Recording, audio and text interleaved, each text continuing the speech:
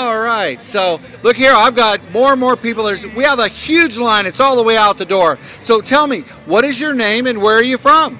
I'm Kelly Yitzwig. And I'm Kayla Yitzwig, and we are Wildfire. We're from Houston, Texas. Houston, Texas. So I have some Houston, Texas roots from Texas City, Friendswood, all of that area. You guys know where that is? Yeah, for sure. We live really close there. We live in the Clear Lake area, so not too far away. Fantastic. I think I have an aunt that lives in Clear Lake. Oh, yeah, it's a nice place. I love Yeah, it. absolutely. So tell me, do you guys go down to the Kemah Bridge and get some shrimp?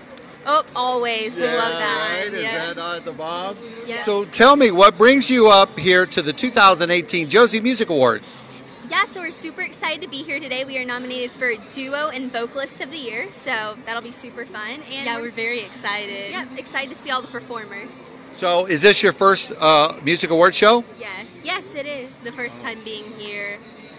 Fantastic. Well, on behalf of all of us here at Entertainment and Smokies and Thundering Hooves Productions, we want to welcome you to Dollywood, welcome you here to this beautiful event. We certainly hope that you guys will have a great time here, and uh, we hope that uh, we see you walking across the stage.